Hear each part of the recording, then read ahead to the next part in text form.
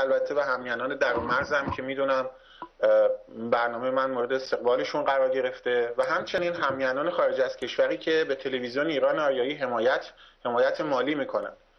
تلویزیون ایران آریایی نیازمند حمایت های مالی شماست. من دیروز با آقای وطنخواه صحبت می‌کردم تلفنی و به من گفتن که صورت حساب زیادی برای تلویزیون اومده و ما منتظریم هنوز که تعداد همیاران تلویزیون ایران آریایی که هر ماه مبلغی رو کمک می‌کنن به 500 نفر برسه.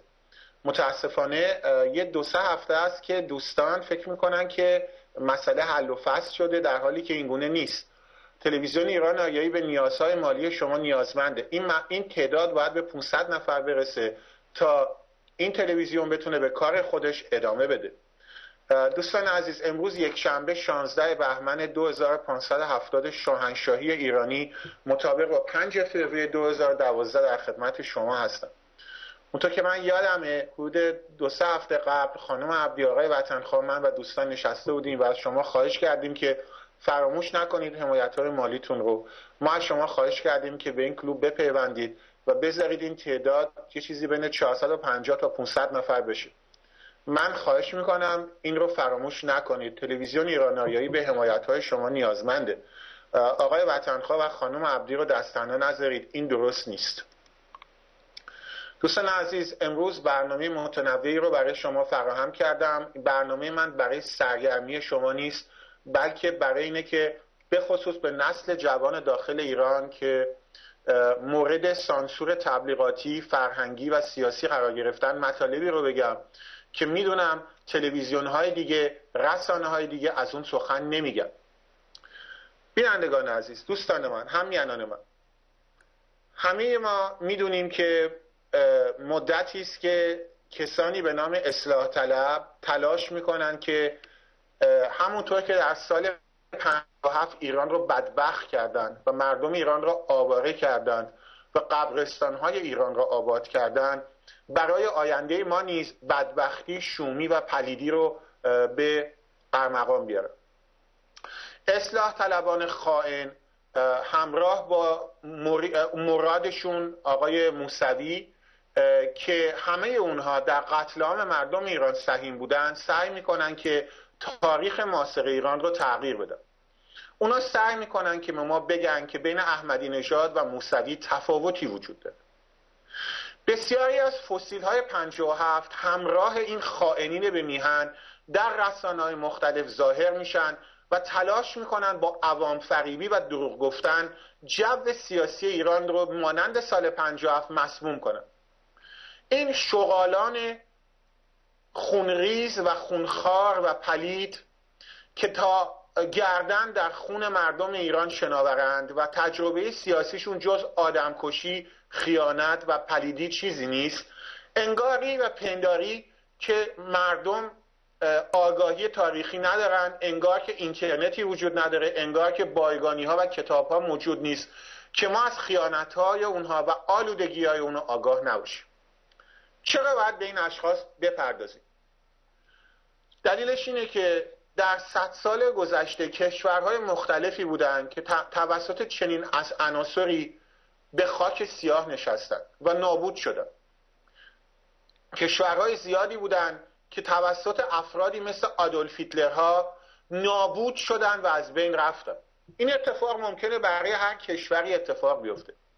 ولی مسئله مهمتر اینه که مردم اون کشورها از این بدبختی ها درس یاد بگیرن و نذارن این مسائل تکرار بشه.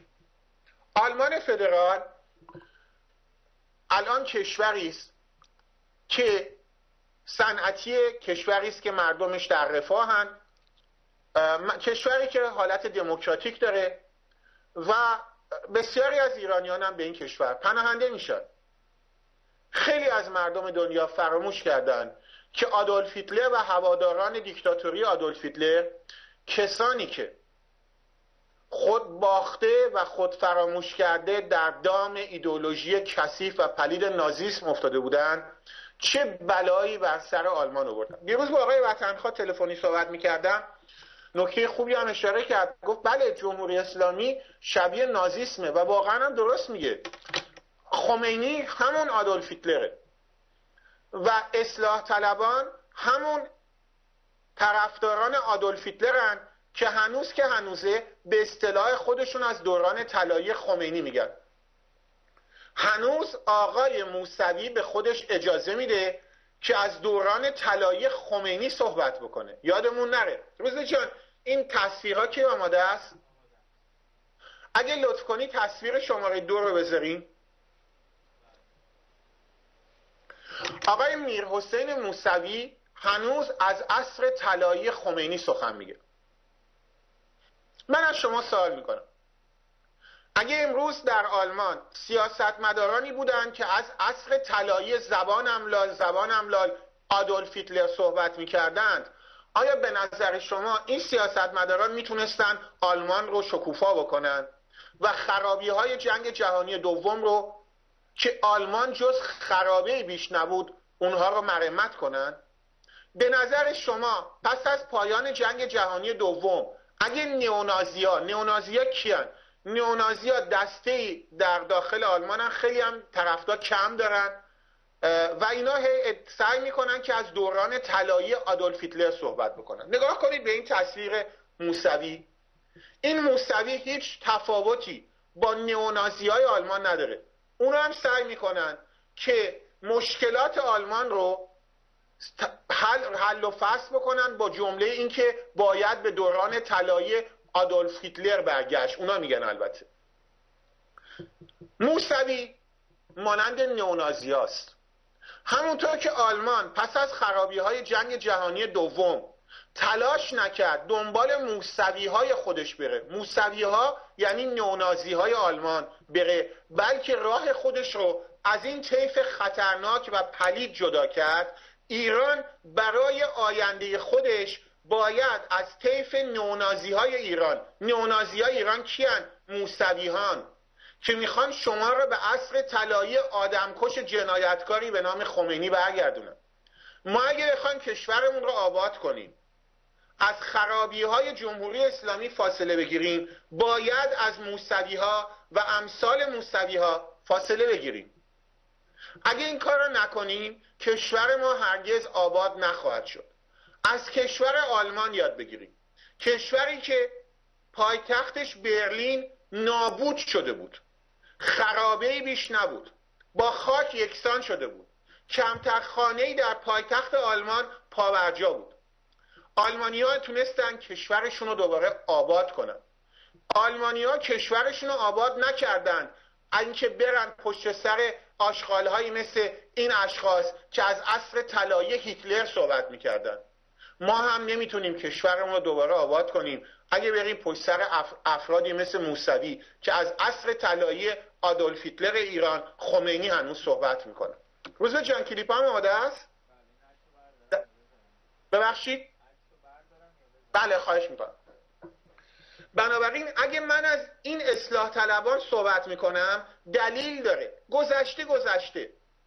ولی همونطور که من نمی‌خوام و مردم آلمان نمی‌خوان و مردم اتریش نمی‌خوان که کسانی که از دوران طلایی هیتلر صحبت می‌کنن در این کشورها به قدرت برسن من هم نمی‌خوام که در کشور من نیونازی های ایرانی یعنی موسوی ها که هنوز از عصر طلایی خمینی صحبت می‌کنن دوباره به قدرت برسن. چرا؟ چون اونها کشور ایران رو دوباره بدبخت خواهند کرد.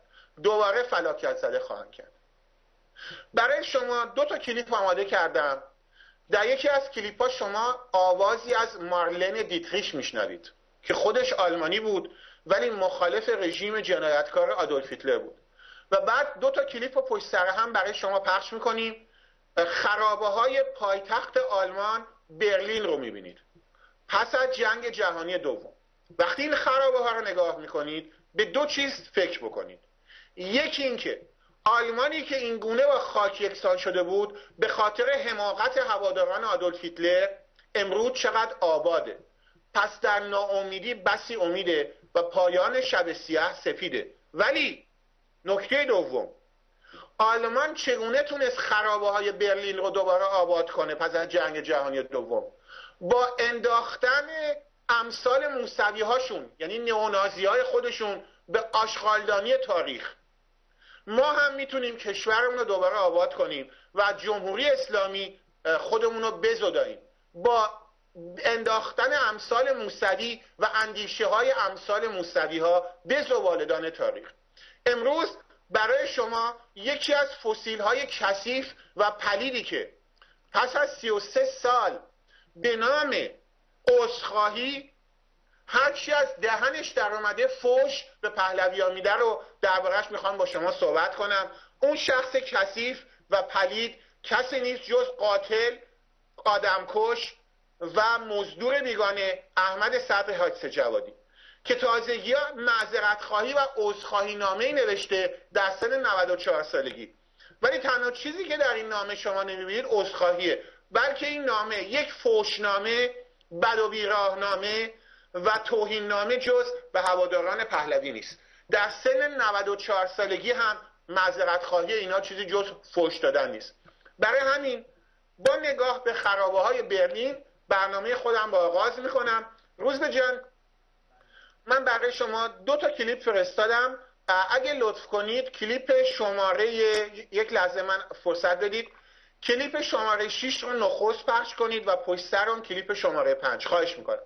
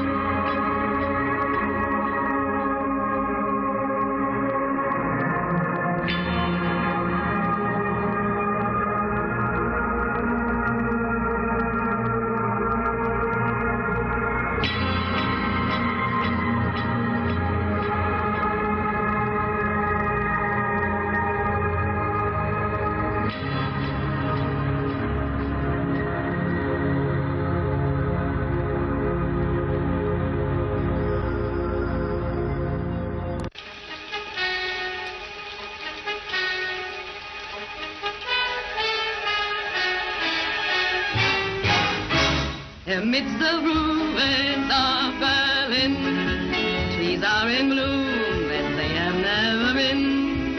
Sometimes at night you feel in all your sorrow a perfume as of a sweet tomorrow. That's when you realize at last they won't return, the phantoms of the past. The brand new spring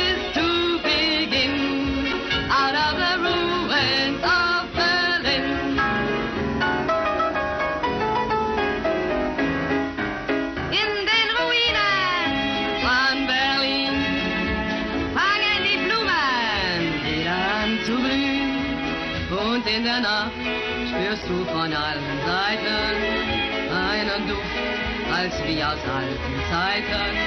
Dans les ruines de Berlin, les arbres avant-fleurs parfument ton chemin. Inara Berlina, Berlina, Natschnatscha Nova.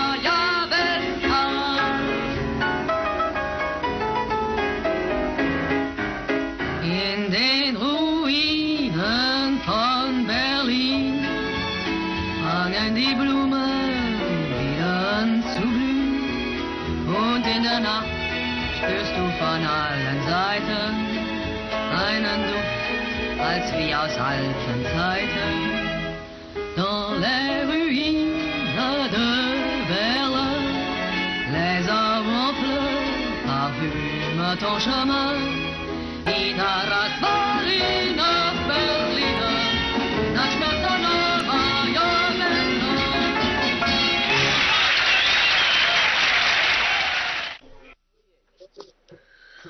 دوستان عزیز همینطور که یکی از دوستان الان به من اشاره کرد خرمشهر و آبادان هم همین وضع رو داشتن بعد از جنگ. و من امیدوارم که هرگز حمله نظامی به ایران صورت نگیره که ایران دوباره اینگونه بشه. برای این چی من همیشه درباره فسیل های 57 صحبت می‌کنم؟ بر باور من فسیل های 57 مشکلشون اینه که اینها یک سناریویی دارن در زندگی سیاسیشون و مجبور به تکرار این سناریو هستن. همونطور که بارها گفتم سیگموند فروید به اون نام ویدیو هولونگسوان میده. سیگموند فروید از شهر وین بود و به آلمانی میگه ویدیو هولونگسوان یعنی اجبار به تکرار. و این سناریو که در ذات سیاسی این اشخاص هست ریشه و بنمایش از خرافات مذهبی و لجاجت هایی که در کودکی در نهاد اینها به خاطر تربیت خانوادگیشون به خاطر به خاطر دید پدر و مادرشون یا آنچه که در نوجوانی در مغز اینها فرو کردن این سناریو نوشته شده.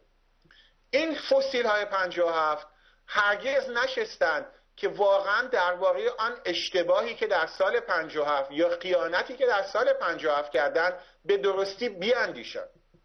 اینها عوض نشدن. ممکنه امروز به اصطلاح عذرخواهی هم بکنن ولی شما اگه عذرخواهی نامه این عرازل و اوباش آدمکش رو بخونید می‌بینید خر همون خره فقط پالونش عوض شده. این ببخشید این مثال رو باید واقعا زد. این آدم کشا همون آدم کشای قبلن. فقط یونیفرمشون اونیفرمشون عوض شده. جملاتشون عوض شده. ولی همون سناریوی سیاسی رو با لباسی دیگر با بزک دوزکی دیگر با با یک به اصطلاح یک چی میگن؟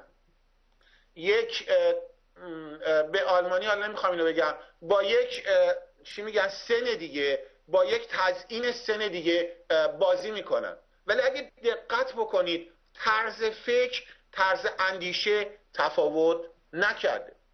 یکی از این انسانهای پلید و کثیف که هنوز در سن 90 خورده سالگی دست از جنایت و خیانت بر نمیداره آقای احمد صدر حاج جوادی که به شدت از موسوی موسوی کی یعنی نونازی امروز ایران که خواهان برگشت به دوران خمینی دفاع می‌کنه. آقای احمد صدر حادثه جواد ببخشید من امروز مذرت می‌خوام سرما خوردم پوزش می‌خوام.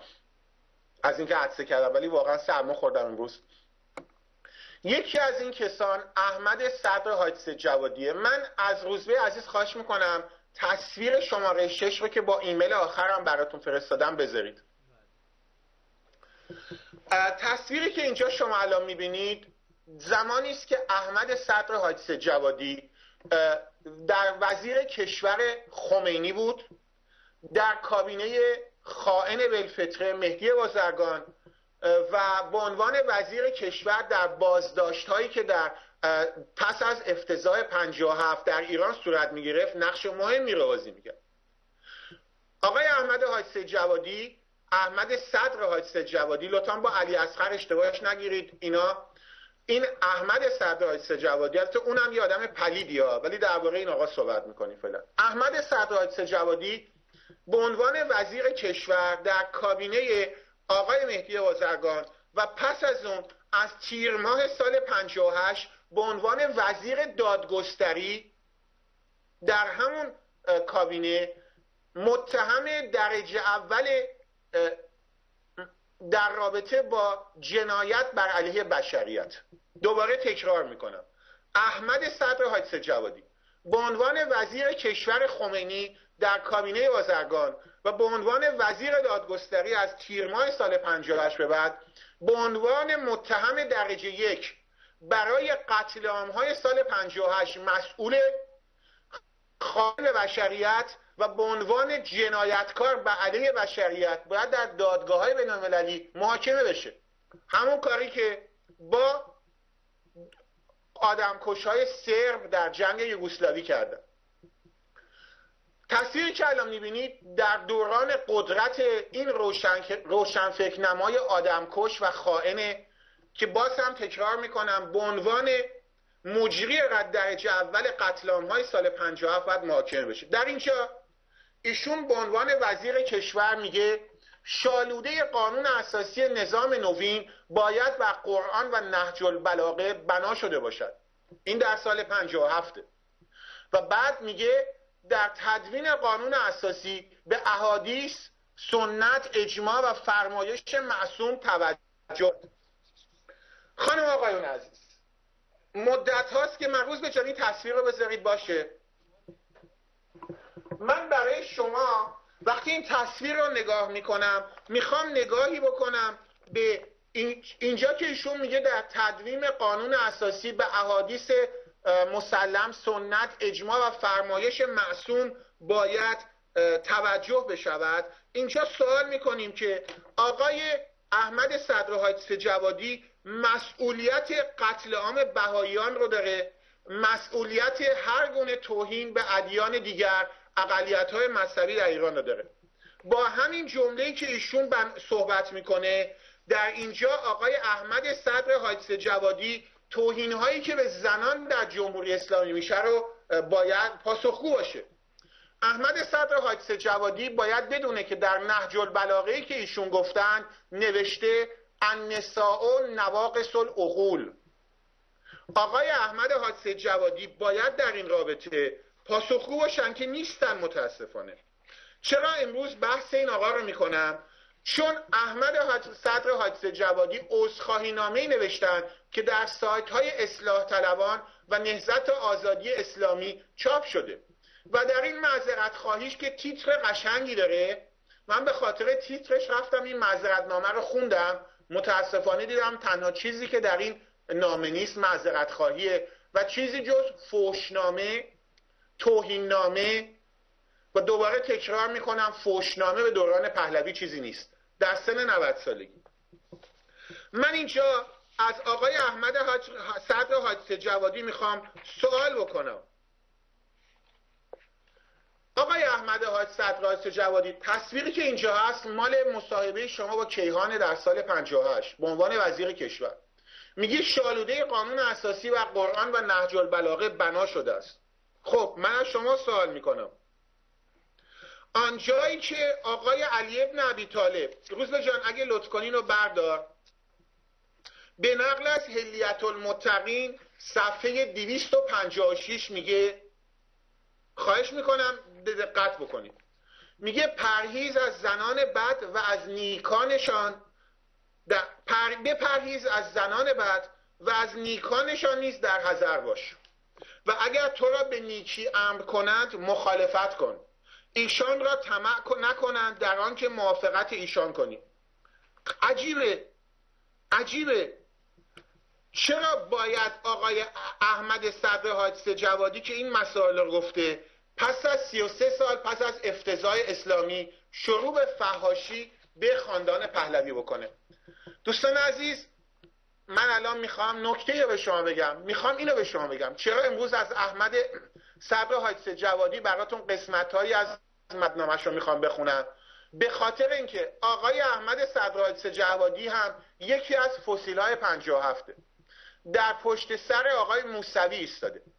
شما وقتی با اندیشه های احمد صدر حادث جوادی آشنا بشید با اندیشه های کدیور با اندیشه های اکبر گنجی محسن سازگارا علیرضا نوریزاده بی بی سی و Voice of America هم آشنا میشیم ما باید در داخل ایران صدامون رو به همه مردم ایران برسونیم و نذاریم که فاجعه خاتمی و فاجعه موسوی در ایران دوباره تکرار بشه. باید به جنگ احمدی نژاد و خامنه ای بریم ولی گول موسوی ها رو نخوریم. چرا اندیشه اونها پلیده؟ حالا برای چی رو براتون می‌خونم؟ آقای احمد صبر حادث جوادی نوشته ای دارن. به, به, چند وقت پیش نوشته ای رو نوشتن در سن 94 سالگی بعد از 33 سال که این همه مردم ایران مردن ایشون در 94 سالگی انگار باید صبر می‌کردن که پوسیده و کاملا فسیل بشن. نوشتن مقاله به نام به ملت شریف و ستمدیده ایران. در اول اصخایی نامش رو میگن.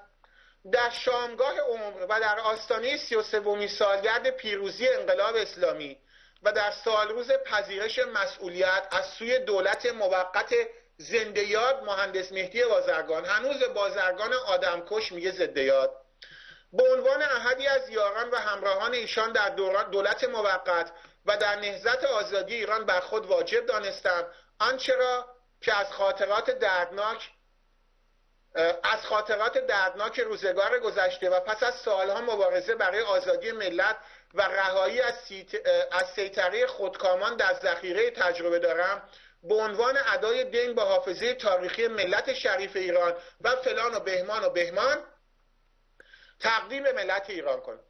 بعد اینو میگه.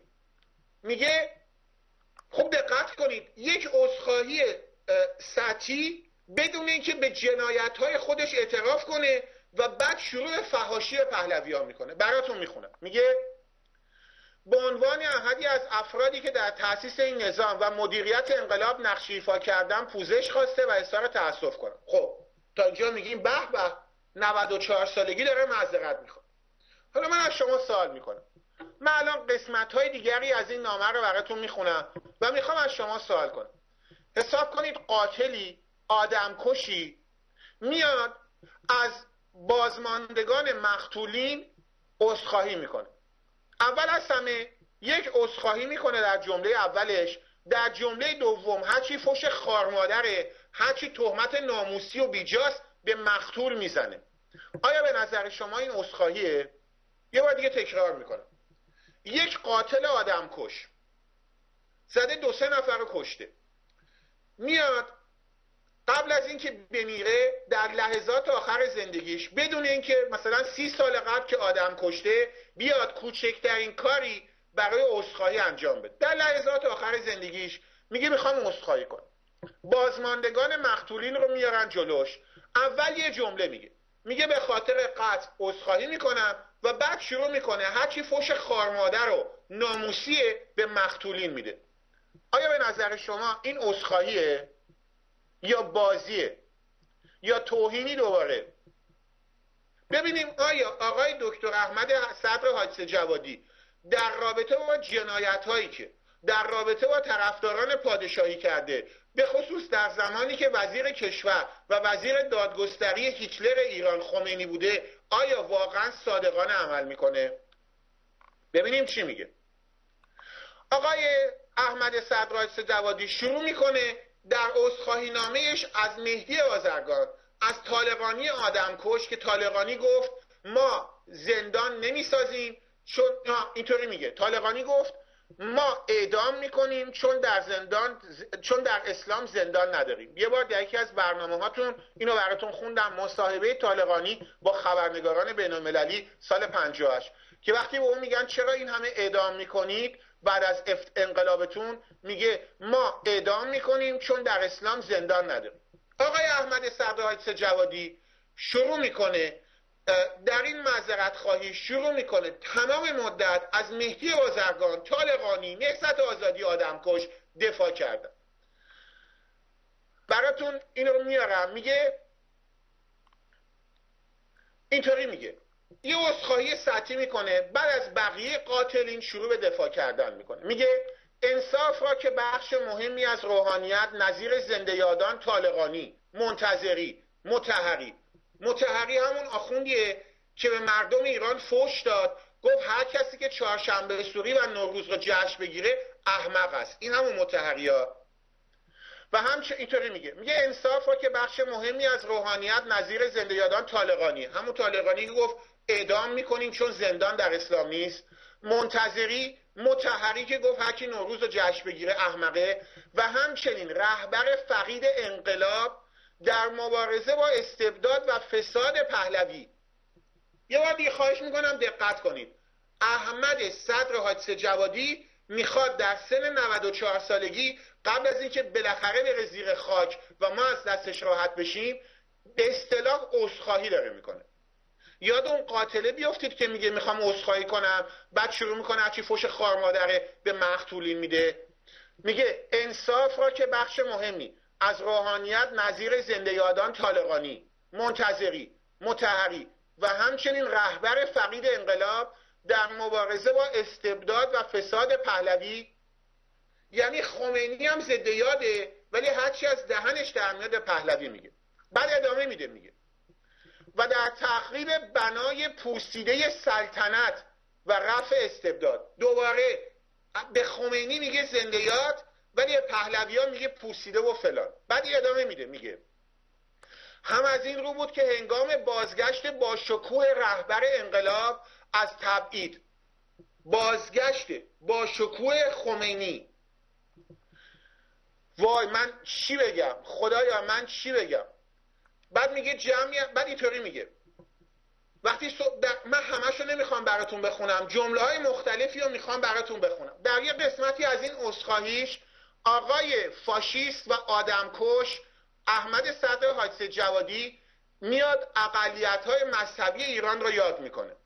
خانم آقایون روز جمعه من برنامه داشتم درباره بهاییان و کشتاری که از بهاییان شده توسط نهزت آزادی خمینی موسوی. یادتون هست که یادی کردم از مونا محمود نژاد دختری که در سن 16 سالگی به خاطر بهایی بودن دستگیر شد و در سن 17 سالگی اعدام شد. همراه با ده زن و دختر بهایی. روز جان اگه امکان داره اون عکس الان پخش کنیم عکس رو شمارش رو به شما میگم. یک لحظه چون الان می‌خوام یک سند جنایتی از آقای سید جوادی رو بهتون نشون بدم. بله. الان داره پخش میشه. بله عزیز خوب می‌خوام دقت کنیم. این تصویر مونا محمود نژاده که همین احمد صدر حادثه جوادی در قتل این دختر سهیم بوده. به خاطر همکاری با خمینی. در سن 94 سالگی معذرت خواهی می‌کنه. شما فکر می‌کنید در معذرت خواهیش اسم بهاییان رو میاره یا نمیاره؟ پنج ثانیه با هم بشینیم فکر کنیم. ده ثانیه. سوالم رو تکرار می‌کنم. شما فکر می‌کنید که آقای صدر حادثه جوادی در معذرت خواهیش نامی از بهاییان رو به عنوان اقلیت های مذهبی در معذرت در عذرخواهی نامش میاره نمیاره؟ با هم ده ثانیه فکر کنید. فکر کنید دیگه. ببینید میاره یا نمیاره. بله. خب. حتما فکر کنم به همون نتیجه رسیدید که من الان می‌خوام براتون افشا کنم. خیر. ایشون کوچکترین ابرازی نمی‌کنه و بعد این نکته رو می‌خوام براتون بخونم. ایشون در عذرخواهی نامی خودش نام اقلیت های مذهبی ایران رو میاره. ببینیم آیا اسم بهاییان رو میاره یا نمیاره. سب کنید اون قسمت رو براتون بیارم. این نامه در رابطه با نوشته به ملت شریف و ستمدیده ایران. سب کنید دوستان عزیز من اون قسمت رو بیارم براتون. که آماده کرده بودم الان بسته شد یه لحظه. بله. در اینجا میگه جمع کثیری از نمایندگان سازمان های اجتماعی و سیاسی حتی با گرایش های غیر مذهبی و نمایندگان اقلیت های دینی ارمنی زرتشتی کلدانی و یهودی نیز به استقبال به استقبال کنندگان پیوستن عجیبه. چرا نام بهایی ها نمیاد؟ یه بار دیگه براتون می‌خونم. نندگان اقلیت های دینی ارمنی زرتشتی کلدانی و یهودی. نام بهاییان چرا در اینجا نمیاد؟ و بعد اینو ادامه میده. میگه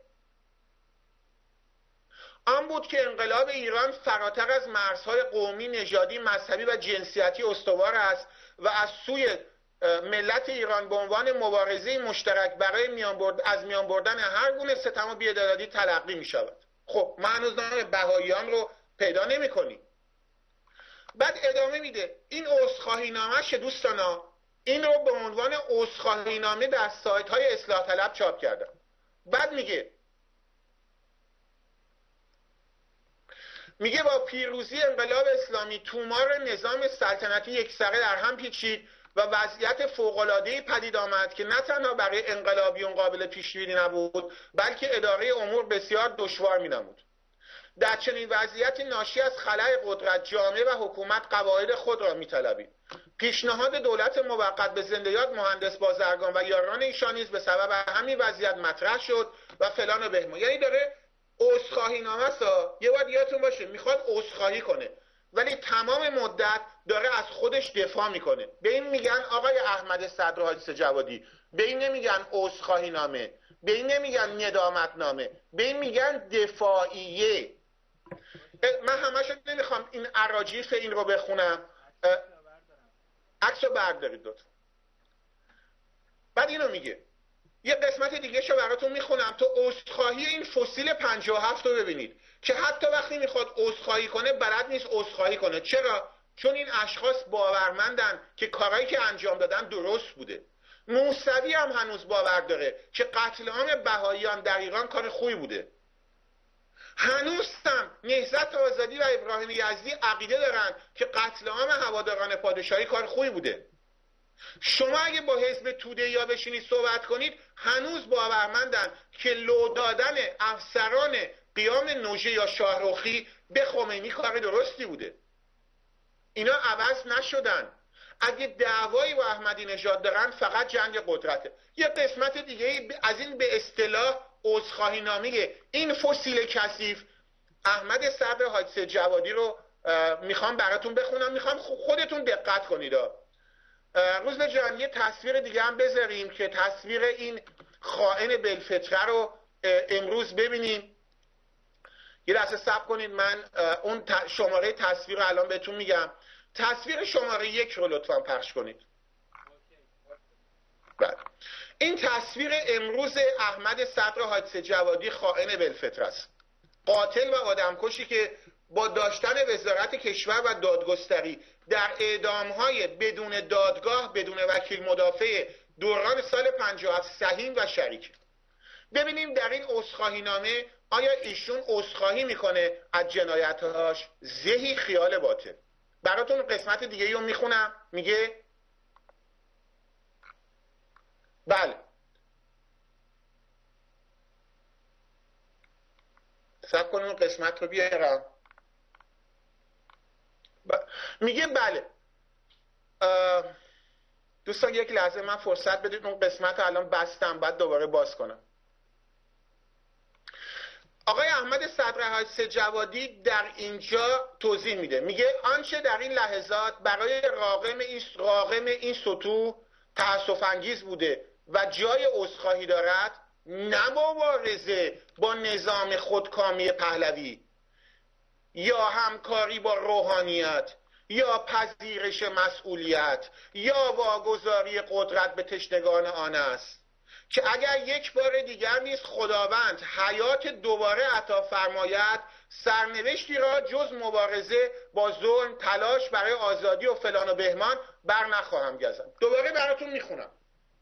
این فسیل رو عکسش رو می‌بینید بعد از 33 سال که چیزی نزدیک یک میلیون ایرانی کشته شدن. در جنگ اعدام فلان مسائلی که بهتر میدون این همه بهایی و یهودی و ارمنی و زرتشتی بی خانمان شدن. این همه ایرانی آواره شدن. شهرهای خوزستان و کردستان بمباران شد. بلوچستان ایران رو دارن قارت می‌کنن. کشور ما بدنام و بیچاره شده. در 94 سالگیش عذرخواهی نامه می نویسه ببینید چی میگه. میگه آنچه در این لحظات برای راقم این سطوح تاسف انگیز بوده و جای عذرخواهی دارد نه. نه. مبارزه با نظام پهلوی خودکامی پهلوی. نه همکاری با روحانیت نه پذیرش مسئولیت و نه واگذاری قدرت به تشنگان است. دقت می‌کنید این فسیل چقدر بی شرف و بی ناموسه این واژه رو الان میگم جلو دوربین. نه شرافت داره نه اخلاقیات داره. یه بار دیگه براتون می‌خونم. میگه آنچه در این لحظات برای راقب این سطوح تأصف انگیز بوده و جای عذرخواهی دارد؟ نه. مبارزه با نظام خودکامی پهلوی. نه. همکاری با روحانیت. و نه. پذیرش مسئولیت یا واگذاری قدرت به تشنگان آن است. بعد میگه اگه خدا یک بار دیگه بهش عمر بده اگه یک بار دیگر نیست خداوند که باید بگیم اهریمن. به این آدما اهریمن جان میده. خداوند حیات دوباره عطا فرماید دوباره همین کار خواهد کرد. من موندم من موندم که این فسیل ها چقدر باید بی شرف و بی اخلاق باشن. به این میگن اصخایی نامه خدا چی بگم؟ بعد میگه هرگز از بابت ناباوری و دست نیازیدن به سیاست ماکیاولیستی و هزینه هایی که از این ناحیه به صورت فردی و جمعی متحمل شده این متاسف نیستم. چی بگم؟ بعد آخرسه همشو نمی‌خوام بخونم چون حالا تهوع بهم دست میده. بعد میگه بر اثر بی تجربگی و احیانا اشتباهات عمدی و غیر عمدی مثلا الان که آرمانهای انقلاب دزده شده. این خلاصه عذرخواهی نامه این آدم خائن و پسته. خدایا من نمی‌دونم اینها چی می‌خوان از جون مملکت ما. البته این نامه رو یه جوری نوشته کسایی که اول این نامه رو بخونن میگن به به طرف داره معذرت خواهی می‌کنه. یک جمله نوشته این جملهش مثبته. میگه مسئولیت دیگر خیش یعنی پذیرش قصور نارسایی ها خسارات مادی و معنوی رو. که از رهگذر عملکرد و سیاستگذاری های مسئولان نظام جمهوری اسلامی طی بیش از سه دهه حکمرانی مردم و کشور تحمل شده است به عنوان احدی از افرادی که در تأسیس این نظام و مدیریت انقلاب نقش ایفا کرده است پوزش خواسته و اظهار تأسف می‌کنه. این جملهش خوبه ها. دوباره مثال اول من یادتون میاد. یه قاتل رو می‌برن جلوی بازماندگان مقتولین. جمله اول جمله خوب. معذرت خواهی می‌کنه. خیلی قشنگ. جمله دوم شروع می‌کنه هرچی از دهنش در میاد به مقتولین فوش میده و بعد میگه چون اونها آدم های پلیدی بودن مجبور شدن بکشمشون. شما اگه این نامه رو بخونید احمد صدر حادثه جوادی دقیقا این کار رو می‌کنه. در سن 94 سالگی. اول از همه یه جمله شعاری می نویسه تا براش به و چه بگم. بگم به به معذرت خواست. چون می‌دونه خیلی از مردم ایران این نامه رو تا آخر نمی‌خونن. ولی شما این نامه رو بخونید می‌بینید که اول عذرخواهی می‌کنه بعد هرچی از دهنش در میاد به هواداران پادشاهی میگه که توسط خود احمد صدر آیس جوادی قتل عام شدن. چون ایشون وزیر کشور و دادگستری بود. یک عدد نام از بهایان ایران نمیاره. و حتی از خمینی به عنوان زنده یاد یاد می‌کنه. براتون خوندم اون قسمتو. و بعد میگه اگه یه بار دیگه هم به دنیا بیاد دوباره همون کار رو خواهد کرد. خانم آقایون خانم آقایون من از شما می‌خوام. روی این مسائل فکر کنید. بعد شما فکر می‌کنید که آقای احمد صدر حادثه جوادی از تاریخ درس گرفته؟ نه. براتون قسمت دیگه از این نامه رو می‌خونم و می‌خوام خودتون برید فکر بکنید. که چرا ما باید موسوی کروبی احمد صدر حادثه جوادی سازگارا کدیور و اشکوری و سروش رو از خودمون پاک کنیم. چون اینا آدم بشو نیستن. براتون می‌خونم. از همین به اصطلاح نامه احمد صدرات جوادی ببینید چی نوشته. میگه در مرامنامه نهزت آزادی ایران چنین آمده است. مسلمانی نه به این معنا که یگانه وظیفه خود را در روزه و نماز بدانیم. میگه آقای احمد صدر حادثه جوادی بعد از 33 سال آدم کشی. میگه ورود ما به سیاست و فعالیت اجتماعی منباب وظیفه ملی و فریضه دینی بوده. دین را از سیاست جدا نمی‌دانیم. یه بار دیگه براتون می‌خونم. دین را از سیاست جدا نمی‌دانیم. بعد از 33 سال بدبختی در ایران.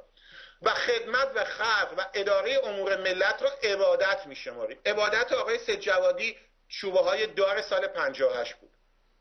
بعد میگه آزادی را به عنوان محبت اولیه الهی و کس و حفظ آن را از سنن اسلامی و امتیازات تشیع می‌شناسیم. خداوندا من از شما بیننده هم سوال می‌کنم. بردار عکسو. روز جان یه بار دیگه می‌دونم اذیت میشی ولی من خواهش می‌کنم یه تصویری باید الان دوباره بذاریم تا این آدم رو دوستان ببینن که ما درباره آدمایی صحبت می‌کنیم که وجود چون این حرفا رو آدم می‌زنه باور نمی‌کنه همچین آدمایی وجود دارن. تصویر شماره شش رو لطف کن دوباره بذار برامون.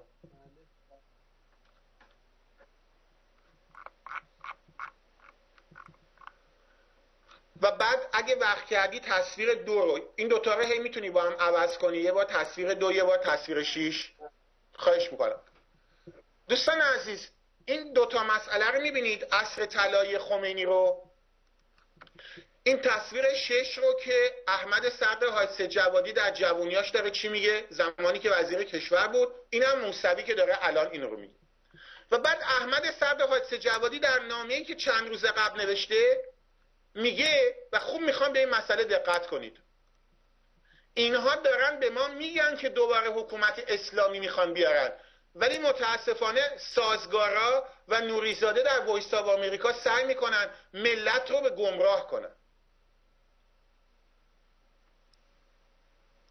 میگه یادآوری می‌کنم. آقای احمد صدر حاج سید جوادی میگه. سب اون قسمت رو براتون بیارم.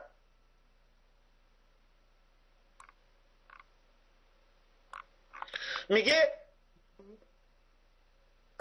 سب بله میگه یادآوری می‌کنم که به رغم عملکرد عملکرد عبرت و غیر قابل دفاع روحانیت حاکم پس از انقلاب اسلامی جایگاه روحانیت شیعه در ایران طی صدها سال به گونه بود که در شکلگیری و تقویت جنبش های ادالتگرا و آزادی خواهانه به نحوی جدی و مؤثر عمل کرده و هست و یا نادیده گرفتن این نهاد یعنی آخوندها در راستای نیل و اهدا و آرمانهای اصیل ملت ایران و بسیج توده های مردم و فلان و بهمان نه مفید و نه ممکن ارزیابی می‌شد. خانم آقایون دقت می‌کنید؟ هنوز که هنوزه داره از آخوندها دفاع می‌کنه. بعد از 33 سال. روز جان دمت گرم سپاس. این آقای احمد صدر جوادی نرفته بخونه که محمد تقی مجلسی و, و محمد باقر مجلسی. یکیشون در رساله جهادیه. ببینید چی نوشتن؟ که نوشتن یهودی و مسیحی و زرتشتی نجسن. که نوشتن زنان اهل زمه هر کاری دلشون می‌خواد باشون بکنید. که فتوا دادند؟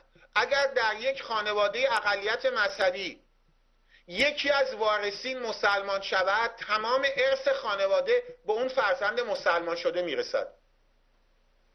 بعد آقای احمد صدر حادثه جوادی میگه در صدها سال گذشته آخوندها برای ما خوب بودن و هنوزم بعد رفت پشت سرشون. و هنوز میگه دین از سیاست جدا نیست. خانم آقایون وقتی موسوی میگه به دوران طلایی خمینی می‌خواد برگرده این رو میگه چون بهش ایمان داره. و احمد صدر حادثه جوادی هنوز بعد از 33 سال کشتار جمهوری اسلامی به این حرف ایمان داره. دلیلش می‌دونید چیه؟ و دلیلش رو می‌خوام بهتون بگم. چون هم احمد صدر حادثه جوادی و هم موسوی و هم احمدی نژاد و هم خامنه ای و هم خمینی و هم متحری و هم طالقانی و حتی منتظری که بعضی علامه این دنبالش میرن همه اینا حاضرن. تمام ایران رو و تمام مردم ایران رو فدای یک صفحه قرآن بکنن. یه بار دیگه تکرار می‌کنم.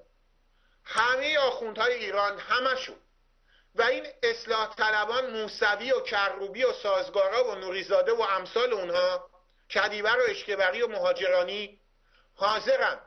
برای یک خط قرآن تمام ایران رو و مردم ایران رو تاریخ و امروز و فردای ایران رو قربانی کنن برای همینه که احمد صدر حادث جوادی بعد از 33 سال معذرت خواهی که می‌کنه می‌دونی چی میگه؟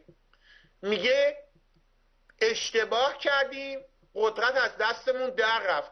ولی به خمینی هنوز میگه زنده یاد هنوز میگه دین از سیاست نباید جدا بشه. و هنوز که هنوزه میگه باید پشت سر آخوند رفت.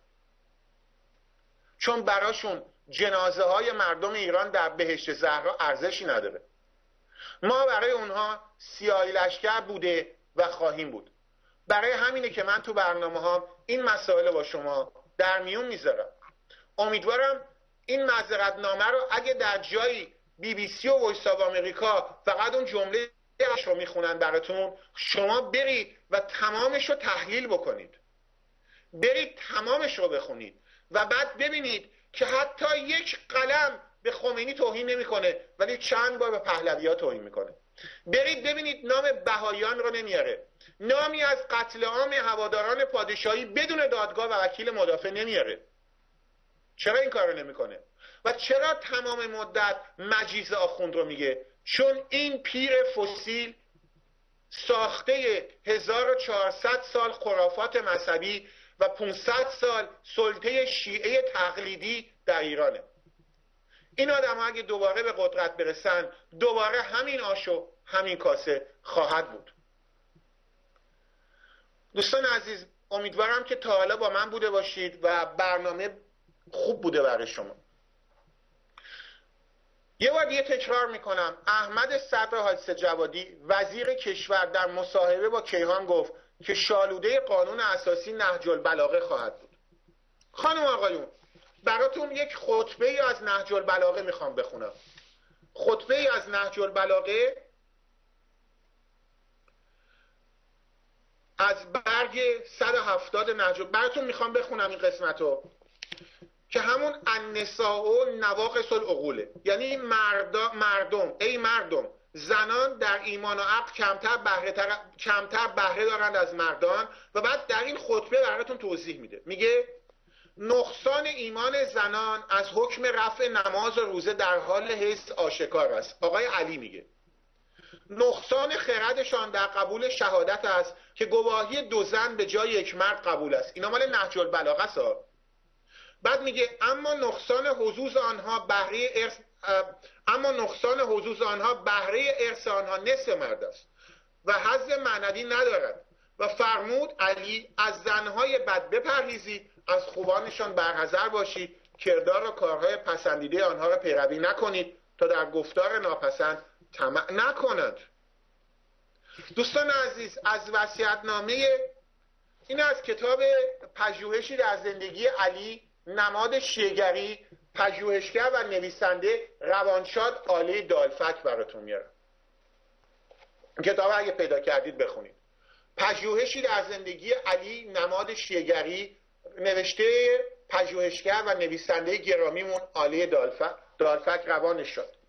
میگه از در صفحه 294 میگه از جمله وصیت های آن حضرت به فرزندش حسن که از جمله مطالب عالیه وصیت علی به فرزندش می باشد شهری است که آن حضرت یعنی علی در باب زنها به این عبارت میفرماید. پرهیز کن از اینکه با زنها مشورت کنی. همانا رأی و اندیشه آنان ضعیف ناقص و عزم و اراده آنها سست و مرهون است. روز جان اون تصویر دوباره بذار که این احمد صدر حفظ جوادی داره میگه قانون اساسیمون نهج البلاغه و ایناست. اگه میشه. دوباره براتون می‌خونم. از جمله وصیت حضرت علی. به حضرت علی میگم که نگم ما داریم توهین می‌کنیم. به فرزندش حسن. پرهیز کن از اینکه با زنان مشورت کنیم همانا رأی و اندیشه آنان ضعیف و ناقص و عزم و اراده آنان سست و موهون است. و چشمای آنها را به وسیله هجاب ببند و از دید اغیار باز دار. اگر بتوانی کاری بکن زنهایت غیر از تو کسی را نشناسند. اگر زن شفاعت دیگری نمود به کلامش ترتیب اثر مده. این رو از دفتر زنان پیامبر نوشته امادزاده برگه های 230 تا 214 جلد سوم نهج البلاغه برگ چهل و دوم و ترجمه نهج البلاغه فیض الاسلام برگ های 939 و 940 با مخز در کتاب پژوهشی در زندگی علی براتون آوردیم. بنابراین خانم آقایون احمد صدر حادث جوادی وقتی به شما می‌گفت شالوده قانون اساسی جدید باید بر اساس نهج البلاغه و احادیث مسلم سنت اجماع و فرمایش معصومین بنا شده باشد می‌دانست که ایران چه خواهد شد. خانم آقایون خانم آقایون عزیز. برای چی دارم این صحبت رو دوباره براتون می‌کنم؟ یادآوری می‌کنم. برای اینکه 25 بهمن گفتن مردم باید ساکت به خیابون ها بیان. می‌دونید چرا میگن شما باید ساکت به خیابون ها بیاید؟ تا اونها حرف دهن شما بذارن. تا دوباره کدیبر بیاد بگه هم غزه و هم لبنان جانم فدای ایران. ببینید این کسافت چجوری شعار شما رو تغییر داد؟ اینها کسانی هستند. یه بار دیگه تکرار می‌کنن احمد صدر حادث جوادی مثل کدیبر و اشکبری مثل امامشون خمینی مثل رهبرشون موسوی مثل خامنه ای و احمدی نژاد و قاضی مرتضوی و بقیه اراذل و باش جمهوری اسلامی حاضرن. تمام ایران رو فدای یک جمله از تازینامه بکنن. تمام بچه های شما رو حاضرن سرشون بریده بشه. به خاطر اسلامشون. اگه این رو می‌خواید دوباره برید پشت سر موسوی. من فکر می‌کنم هیچ تفاوتی بین موسوی و آقای احمدی نژاد نیست. جفتشون آدم کشن. تنها تفاوت شاید این باشه که الان احمدی نژاد در قدرته و موسوی در قدرت نیست. امیدوارم دیگه شما مهره بازی کثیف قدرت بین این اسلام پناهان نباشید. که احمد صدر حادث جوادیش حتی تا 94 سالگیش حاضر نیست اعتراف بکنه که آدم کش بوده. دوستان عزیز امیدوارم که زیاد سرتون رو به درد نیورده باشم. ولی باید این صحبت ها رو با شما بکنم تا بشناسید که چرا باید از این تلویزیون ایران آریایی حمایت کنید. این تلویزیون نیازمند حمایت های شماست. اگه ما نباشیم تلویزیون هایی که پولشون رو اصلاح طلبا میدن هرگز نمی‌ذارن صدای مونا صدای مونا محمود نژاد دختر ایرانی که به خاطر فقط بهایی بودنش در دوران نخست وزیری میرحسین موسوی اعدام شد برای شما پخش بشه. روز جان اگه امکان داره کلیپ شماره دو رو و پشت کلیپ شماره سه رو پخش کنید صدای مونا محمود, صدای مونا محمود نژاد که به خاطر بهایی بودنش توسط میرحسین موسوی خامنه ای و خمینی اعدام شد. بفرمایید.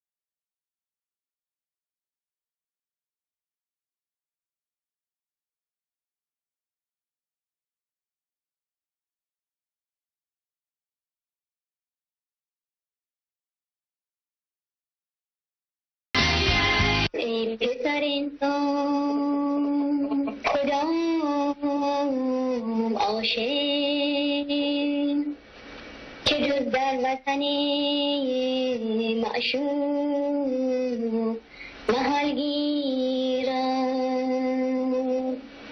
و کدام طالب که بی مطلوب راحت جویم.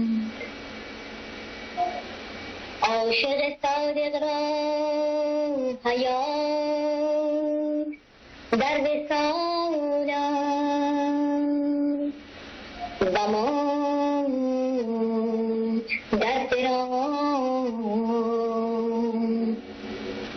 صدرشان از صبر خالی و قلوبشان استبار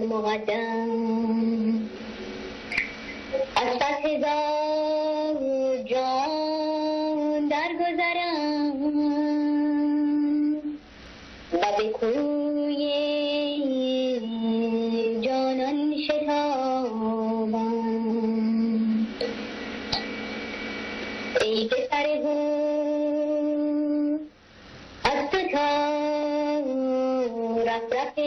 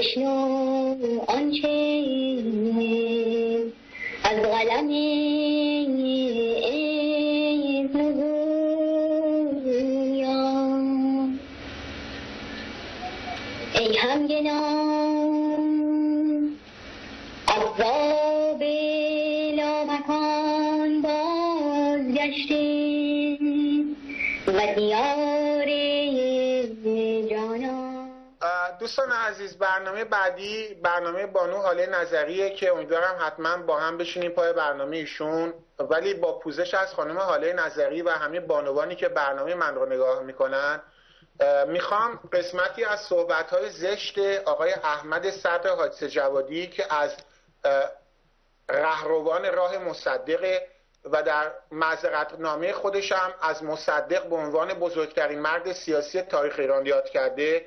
از احمد صدر حادث جوادی که عضو شورای انقلاب خمینی بود وزیر کشور و دادگستری در کابینه مهدی بازرگان از اعضای اولیه و بنیانگذار نهضت آزادی همین نهضت آزادی اسلامی که الان پشت سر موسویان و چیزی که خیلی ها نمی‌دونن احمد صدر حادث جوادی در دوران پهلوی وکیل مدافع خامنه ای بود. یه بار دیگه براتون تکرار می‌کنم.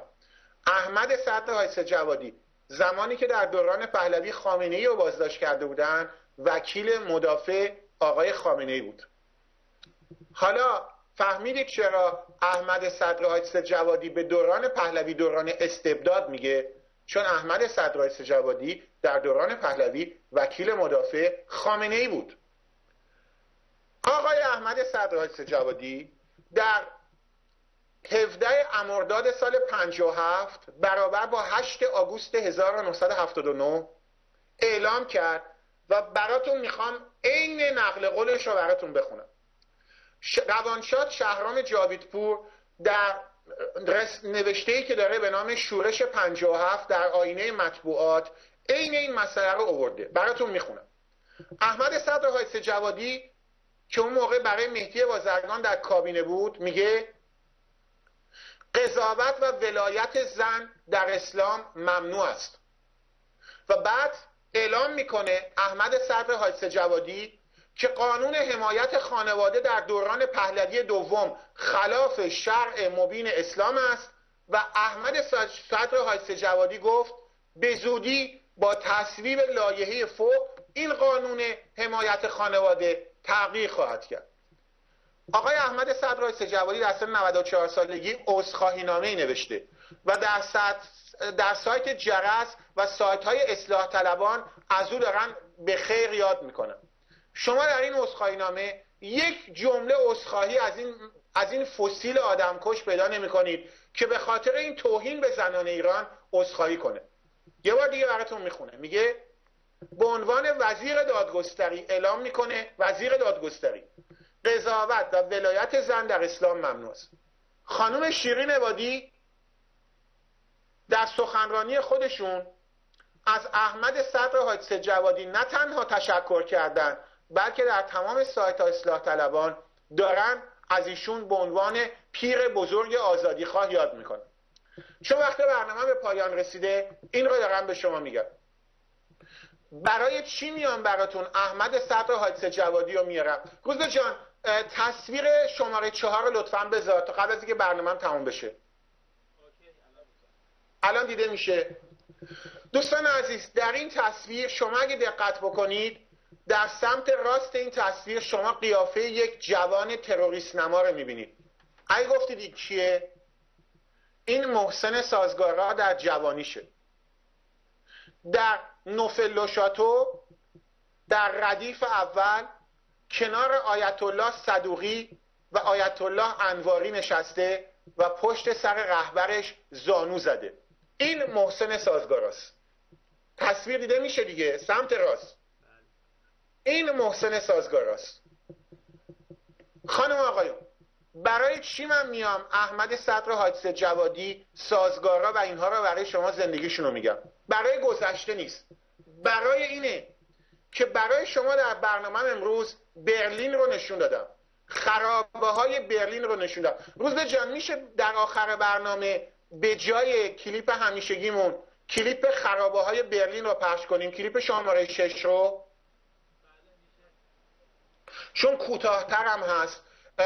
در آخر برنامه هم کلیپ 56 اگه لطف کنید. جفتشو خرابه های برلین رو به شما نشون میدم در آخر برنامه. این خرابه ها رو در آخر برنامه برای این به شما نشون میدم. که به شما بگم اگه من میام از احمد صدر حادثه جوادی سازگارا و امثال اونها موسوی و کروبی افشاگری می‌کنم برای اینه که ما از آلمان ها یاد بگیریم. آلمان ها برای اینکه بتونن خرابه های شهرهای آلمان رو پس از آدولف هیتلر و نابودی آدولف هیتلر جنگ جهانی دوم مرمت کنند نرفتن زیر عبای نیونازی هایی که می‌گفتن باید به دوران هیتلر برگشت.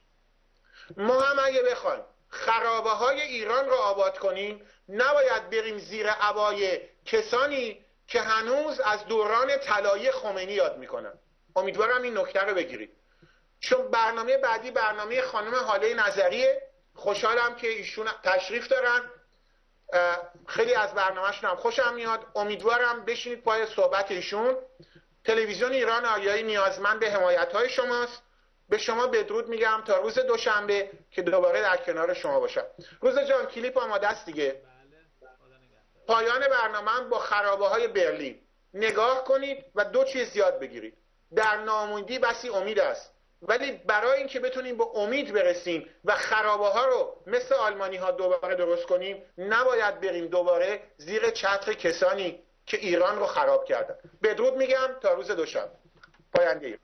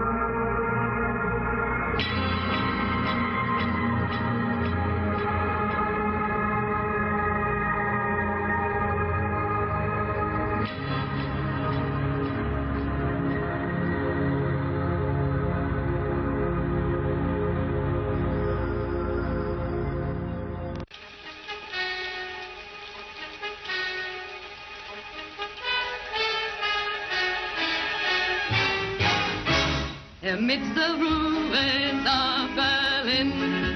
Trees are in bloom as they have never been. Sometimes at night you feel in all your sorrow a perfume as of a sweet tomorrow. That's when you realize at last they won't return, the phantoms of the past. The brand new spring is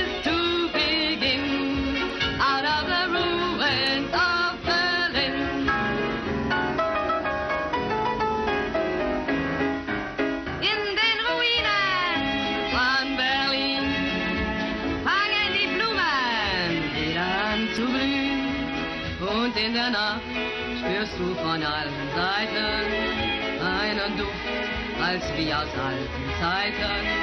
Dans les ruines de Berlin, les avant-fleurs parfument ton chemin. Dina Rafalina Berlina, Natschnatzanova.